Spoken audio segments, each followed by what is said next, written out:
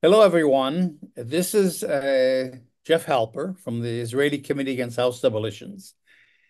With my monthly update, we're in August now. Not at the beginning of August, but towards the end of August, because I've been kind of putting off this update, you know, in anticipation of the Iranian missiles coming in, the Hezbollah missiles, the Houthis from the south. And so I was saying to myself, why um, should I do an update, you know, a minute before a huge dramatic event happens and we have to do another update? But in the meantime, nothing has happened. And I'm not sure if it will happen. I, I, there'll be some response, I suppose. But, um, you know, we're still in this process of negotiating uh, the hostage deal and the so called ceasefire. And uh, Iran and Hezbollah, at least on record, are are uh, are um, doing what they're doing against Israel, including the missile attacks from Hezbollah, in support of Hamas and the Palestinians in Gaza. So, so part of their consideration is they don't want to attack in an independent way, in a way that would mess up the negotiations that Hamas is, is conducting with Israel and the international community. Uh, so we'll see how that how that works out. But we're in a really weird situation here that I, I just want to kind of reflect on. I don't have a clear message because we're in a very strange moment here. And that is, it's a moment in which uh, it's kind of like waiting for Godot, you know, where everybody's waiting.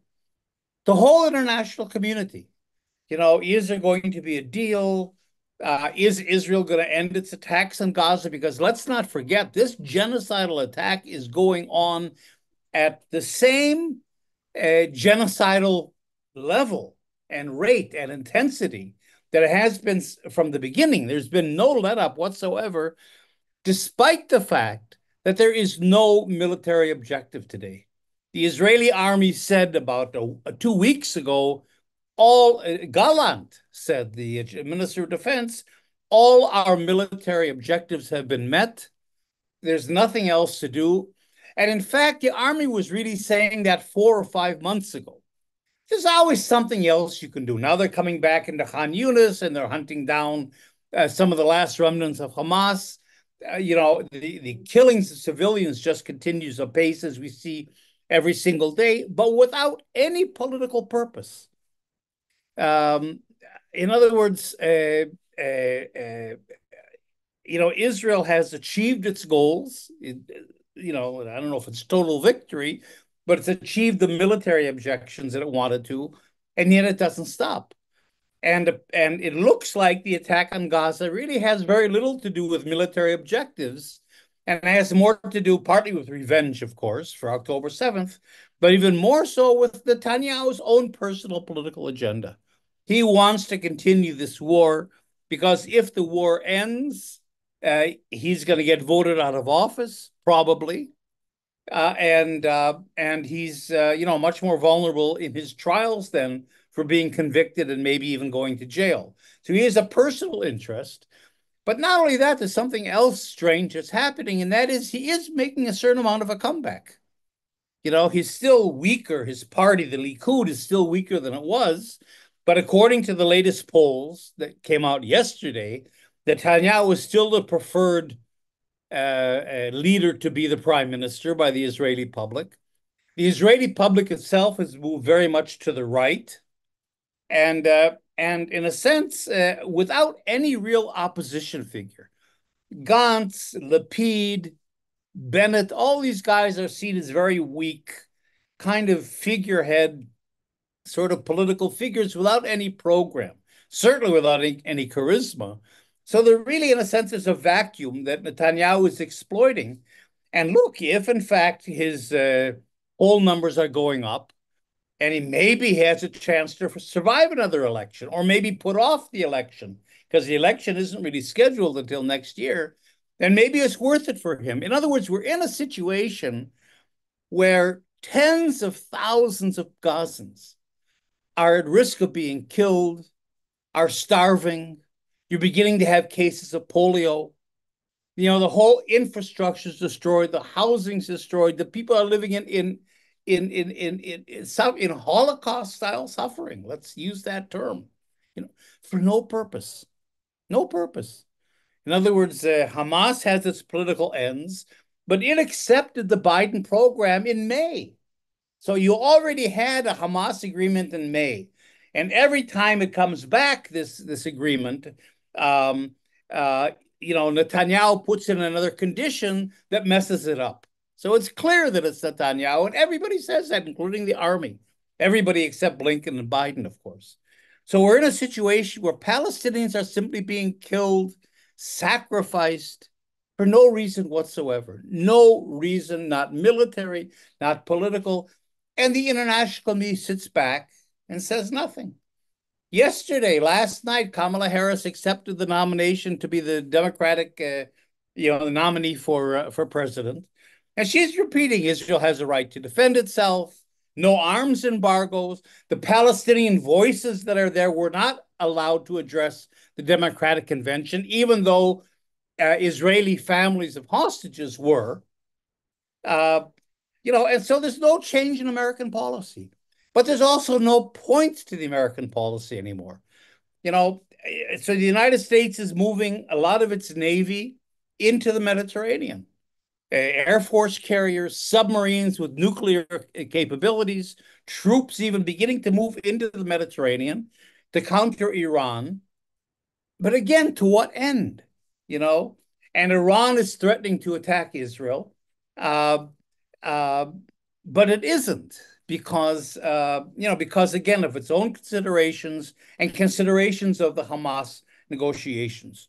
So what we have here, you know, you know, I always talk about global Palestine, in that Palestine has kind of opened a window. It's interesting in a way that nothing else has done, not climate change and not other, not Iraq, uh, and not other things that have happened. Palestine has kind of opened this window for people to look into the way the world is run. You know, and I think in the college campuses, there was a very, in the United States and in Europe, and in all the protests over Gaza, there was a very interesting thing that that that happened, and that is that Palestine became an issue. I mean, certainly Gaza was a part of it, and the genocide and, and everything else. Not to say that, but Palestine became an issue without Palestine in a way. The Palestinians had nothing to do with the demonstrations. They weren't brought in to speak by the protesters. You don't hear you hear American Palestinian voices but the Palestinians that are here that are in their own struggle against apartheid, against settler colonialism, against genocide, against Israel, that are really trying to fight for their own lives here, aren't really part of the equation. So uh, this Palestine issue has become kind of universalized, globalized in a sense. So, in a way, the good part of it is that it's given us a window, everybody, a window into the way the world is functioning or actually not functioning, even though even though the downside of that is it has very little to do with the Palestinian struggle itself. That's another issue. But I think this window has really has really kind of uh, given us a dystopian view of the world. Here you've got all these powers, the United States and NATO and Europe and Saudi Arabia and uh, and Iran uh, and Turkey, you know, plus the other actors like Hezbollah and the Houthis and so on, with no logic. There's not a, there's not a, a, a even a struggle besides the Palestinian struggle. There's not even a struggle that makes much sense. You know, the Iran Saudi fighting. You know, the Houthis and the and the dismemberment of Yemen. Um, you know, you've got Sisi and all the autocratic governments here that are denying democracy and are being repressive and autocratic towards their own people. It's almost like you look around the world from the United States and NATO down to the local actors here, and there is no agenda. There's no strategy, there's no vision, there's no values, there's no political program. Everybody is kind of sort of sitting around like we are now thinking, hey, you know, well, what are we going to do next? Uh, should we attack tomorrow? Um, I don't know. It's almost like they're kind of sitting around thinking about, what the next step is towards what. And and I think this is something that we have to really reflect on. You know, we know that capitalism, uh, you know, has its logic, it has its interests. We know about neoliberalism, and we know about the liberal intervention of the United States. But even that, here, the United States last week, I think the 75th anniversary of the Geneva uh, Conventions was um, was uh, marked. Uh, and uh, Antony Blinken said the United States is committed to human rights and international law, the Geneva Conventions. And Rashid Tlaib, you know, the congressperson from Detroit, Palestinian American, wrote, "Is this a joke?" But you see, it's it's interesting because uh, even the United States and Europe certainly kind of talk the language of human rights and international law, human dignity, freedom, uh, and so on, anti-militarism even. But look what's happening with Palestine. I mean, just look what's happening. You have a genocide, and everybody, the International Court of Justice has called it a, a genocide. The UN has called it a genocide. And yet the, the arms keep flowing. The Americans keep sending their ships into the Mediterranean. Uh, no change in policy, and not even kind of an attempt to justify any of this on the part of the United States in terms of human rights or liberal intervention.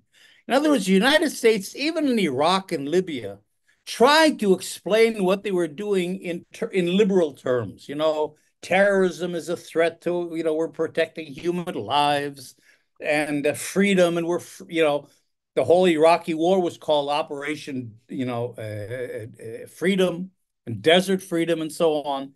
I mean, they played with that language. Now you don't even have that cynical use of language. It's like everything is simply exposed. And what's exposed is the pointlessness, the uh, non direction, the emptiness, the hollowness of, of the whole world that we're living in, or certainly the world between the United States, Europe, and the Middle East. And we're all drifting. And, uh, you know, the fact that I, for all my analyses and for being here and in, in, in the middle of everything's happening, really don't have much to say about what's happening. That's what got me to think about this kind of rambling update that I'm giving now. Um, uh, because, you know, if you have a world that's ideological, that has a, you know, powers that have particular interests that are, you know, that have a strategy that, uh, you know, that you can get a handle on. There's substance to it, even if you hate it. Uh, you can oppose it. You can here it's like there's nothing. It's it's ephemeral. There's no pretense of any values or any strategy or any interests. I mean, the interests are there and they're going on and so on, but in a very diffuse kind of a way. Uh, and I guess the bottom line here, because I don't want to bore you for too long, but I, I guess the bottom line here is first of all, we're in not only the functional world, but a completely um, a world that's floating, a world without direction, uh, but with tremendous arms of, you know, arms of mass destruction. You know, the arms industry is more than a trillion dollar a year industry. The Pentagon's budget itself is a trillion dollars a year. So you've got this non-directedness, this use of power, this force, completely disconnected again from any strategy or vision or agenda or even interests because you I, it'd be very hard to to to explain the American um, uh, position on Palestine in terms of its interests. I mean, there there is a certain explanation in that in that um, you know Israel is a surrogate for the United States. It helps the United States manage the Middle East certainly, but at the same time, it's become so dysfunctional and so divisive uh, and uh, and so um, disruptive uh, of any kind of of stable condition in which you can you can uh, uh, you know you can manage things that even that agenda has been uh, has been completely kind of destroyed. And so i guess the message that i have is that you know we of the left you know the global left have always had a trouble fighting the international system we're not organized we're we can't organize almost because of the way we are. Um, uh, there isn't really a strong international agenda to the left. All the lefts are pretty much uh, confined to their own local issues. Climate change a little bit is different, but that hasn't really taken off as a political kind of a uh, of a program for the left. Uh, and so, in a way, we face a double challenge. You know, what is our agenda? I mean, are we drifting in the same way that the United States and Europe and everybody else is drifting? And if we don't want to drift, if we want to meet their drift with our agenda, if we want to fill that vacuum, how do we do that? What is our program? What is our organization? And so I guess the the the uh, kind of the the vacuousness I feel here, the you know in the center of the of the of the storm, of the, in the center of the of, of, of the genocide, to say I feel kind of a calm a stillness of, of, of dysfunctionalism, uh, of drifting, of nothingness, um, really says something about the world, but it also is a real challenge to us on the left. How do we address this? Uh, so September will bring a, maybe a genuine update. We're still there's still negotiations of the hostage deal over what they call the ceasefire, but we have to be very careful not to agree. I mean, there has to be a ceasefire, but what we're really talking about at this stage is an end to the hostilities, not some temporary ceasefire that Israel can then go back. Um, and maybe it'll work out, maybe it won't, you know. And in some ways, I think Israel has given up, not Israel, but Netanyahu has certainly given up on the hostages. So there isn't any big uh, uh, impetus on the part of Israel to end this whole thing. You know, it can go on forever. I think the army's upset, the family of the hostages are upset, the Israeli public is upset, the Palestinians are being just killed again for no reason whatsoever. But again, in the in the absence of any pressures from abroad, in the absence of any um, coherent American, NATO, European, international agenda, priorities, interests, programs, it all just continues. So the question I'll leave you with is the question that we can apply to uh, that I think Global Palestine brings up. How do we relate to this? Because this is really a, a, a global question and not merely a question that has to do with Palestine today.